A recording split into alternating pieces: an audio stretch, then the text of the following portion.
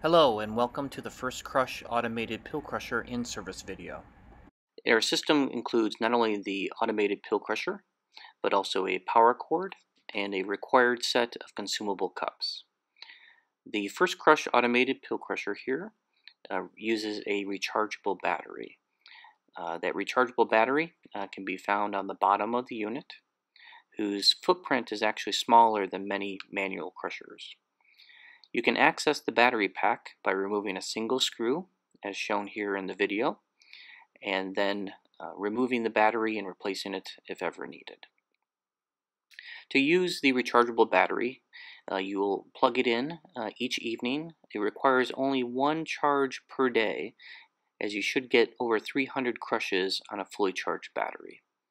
To ensure you're using the correct power cord, you'll want to check to make sure that the red sticker on the power cord matches the red sticker on the back of the pill crusher. The pronged end of the power cord goes into a normal wall outlet, either at the nurse's station or where you store your med carts, and the plug end of the power cord just simply goes into the back of the machine. When charging, a red light on the keypad will stay solid red, and it'll stay solid red until fully charged. A minimum of 15 minutes is required to charge the battery, and up to 3 hours on a completely dead battery. The same red light will turn itself off when fully charged and blink if ever the battery charge gets low.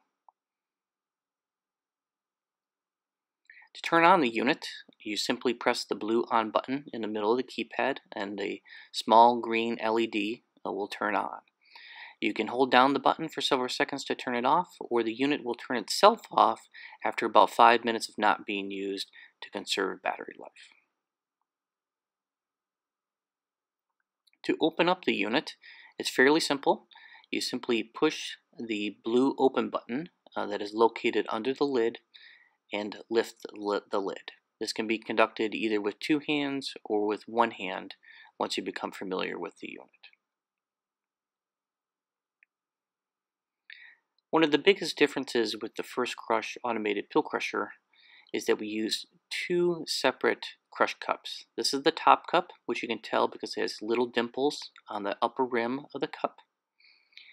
And our lower cup, which is used as a serving vehicle to mix your applesauce or pudding with your crushed medication, and the dimples are facing down along the rim. If ever there's a question about which cup is used in which orientation, there's a simple label on the front of the machine, simple instructions on how to identify which is the top cup and which is the bottom cup. When crushing, we typically recommend 5 to 6 medium-sized pills be crushed at once. If they're smaller pills, you can do more. If there's larger pills, you may wish to do less. Certainly this is with deference to your own policies and procedures. Once the pills are placed in the bottom cup, top cup is placed on top, and then you simply close the lid. And when you close the lid fully, you'll hear a little click that indicates that the lid is now locked and cannot be opened during the crushing cycle. This is to avoid any exposure to the staff of the crushed medication. There's two grind settings shown here, a standard on the left and an extra grind on the right. The only difference is time. The standard crush is 7 seconds, the extra grind is 14. The key is that once you push it, your hands are free so you can accomplish other tasks at the med cart while the machine is crushing the medication and you no longer have to waste time or hurt your elbow, wrist, or shoulder during the crushing cycle. Once completed, you simply, again, push the blue open button under the lid and then lift the lid in order to take out both of the cups at the same time and place them on the med cart. This is key uh, because the top cup is touched medication, much like a pill pouch uh, of many manual crushers. We put an anti-static coating on the cup, which with a little tap should eliminate most of the medication from being stuck to the bottom of that top cup and have it ultimately reside in the bottom cup where you can add your applesauce or pudding directly and serve the resident from the bottom cup. Again, the harder you tap that top cup, the more medication will get out. There's a small warning in the lid that indicates always use two cups to avoid cross-contamination and wipe down the unit once per shift. You can use any wipe that's available on your MedCart today. An alcohol wipe, a bleach wipe, even hydrogen peroxide based wipes are perfectly fine. We just want to maintain the cleanliness of the unit to ensure its proper working operation. The cup holder is removable as well in order to ease with any cleaning that may be required due to spills or, or other medication residue.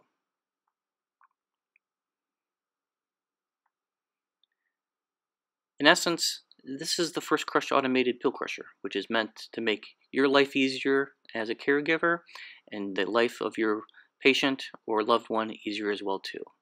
There's our 877 number if ever technical service is required on the front label, as well as on the white sticker on the bottom, which is also includes our serial number Please call us if there's any questions about operation or technical issues with your unit. All we need is the serial number on the bottom of that white label, as well a description of what the issue is, and we'll help you address it. If ever the lid gets stuck, simply hold down the lid with a little pressure and push either the standard or extra grind button to cycle the unit one more time.